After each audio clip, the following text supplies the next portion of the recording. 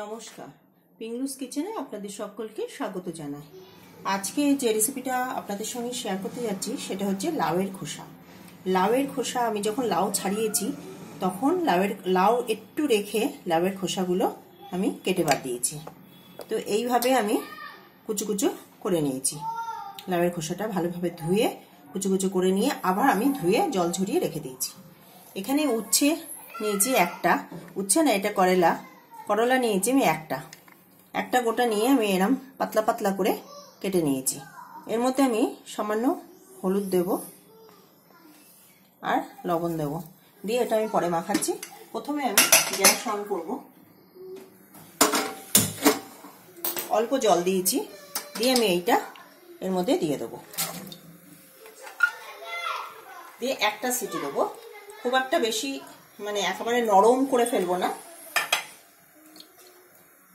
এর মধ্যে সামান্য একটু লবণ দেব আর একটু হলুদ দেব।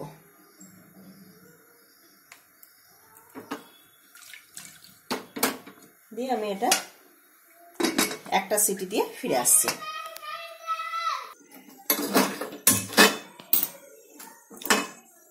আমি লাউয়ের খোসা ভাজা, খোসাটা আমি ইয়ে করেছি, সেদ্ধ করেছি, তো সেটা ঠান্ডা হওয়ার পর আমি নামাচ্ছি।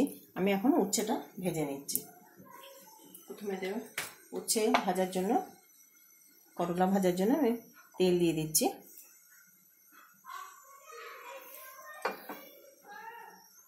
আমি টু টেবিল স্পুন তেল দিলাম।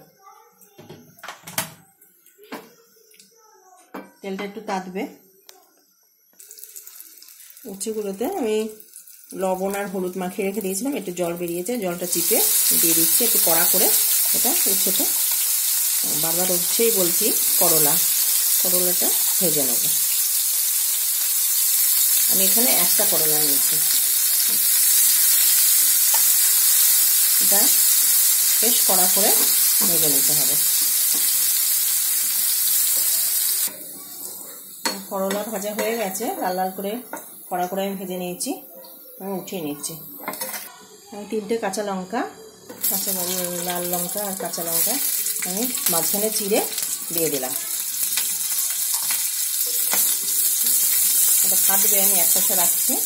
এবার আমি লাউয়ের খোসা ভেজে রেখে দিয়েছিলাম। এই সেদ্ধ করে রেখেছিলাম। সেদ্ধটা এইরকম হবে। কেটে যাবে, কিন্তু একদম নরম হয়ে যাবে না।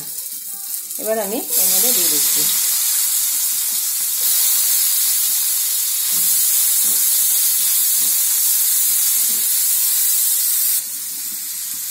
ওয়ান ফোর স্পুন হলুদ দিয়ে দিচ্ছি। আমি আগেও হলুদ দিয়ে আর লবণ দিয়ে সেদ্ধ করেছিলাম। আর হাফ স্পুন আমি লবণ দিয়ে দিচ্ছি। পরে আবার লবণ আর লবণটা দেখে আবার দেবো যদি লবণটা কম হয়। এটা আমি হাই ফ্লেমে, যেহেতু এটা সেদ্ধ হয়ে গেছে, এটা কড়া করে ভাজা হবে, সেই জন্য আমি ফ্লেম হাই করে দিলাম।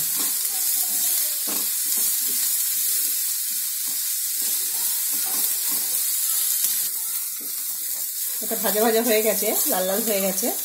আর একটু হবে, দু তিন মিনিট মতন হবে। আমি এবার উচ্ছে করলাটা ভেজে রেখে দিয়েছিলাম, সেটা আমি মিশিয়ে দিচ্ছি। দিয়ে এটার সঙ্গে মিশিয়ে লাউয়ের খোসার সঙ্গে মিশিয়ে ভালো করে ভেজে নিতে হবে। আমি ফ্লেম কিন্তু হাই রেখেছি। এটা দু মিনিট মতন আমি ভাজবো। করলা, লাউয়ের খোসা একসঙ্গে ভাজা আমার হয়ে গেছে। আমি গ্যাসটা বন্ধ করে দিচ্ছি, দিয়ে পরিবেশন করে দেখাচ্ছি। আমার লাউয়ের খোসা করলা ভাজা হয়ে গেছে। সাধারণত আমরা আলু করলা ভাজা খেয়ে থাকি, কিন্তু এটা পুরো ডিফারেন্ট এটা লাউয়ের খোসা আর করলা একসঙ্গে ভেজেছি, এটা খেতে কিন্তু খুবই ভালো লাগবে। গরম ভাতে খুব ভালো যায়, আপনারাও করবেন, করে কমেন্ট করে জানাবেন আপনাদের কেমন হলো। আর যদি রেসিপিটা ভালো লেগে থাকে, তাহলে অবশ্যই আমাকে লাইক করবেন, সকলের সঙ্গে সাবস্ক্রাইব করবেন, আর শেয়ার করতে একদম ভুলবেন না।